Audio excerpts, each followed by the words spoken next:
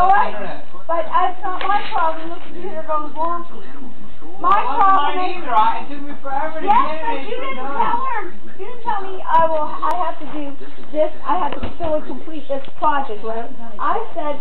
You said it will take take me an hour. How can a job, job that you thought would take you an hour take eleven hours? According to a new report presented at the American Heart Association, And how can you do that? So you're just uh you're just uh, stringing me along. I'm stringing you along.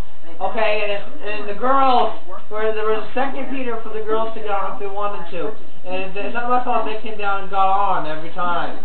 Okay? would you rather eat a handful of fresh Are you proud of yourself? Your voice carries. Are you proud of yourself? No, I had to go get him. Are you proud?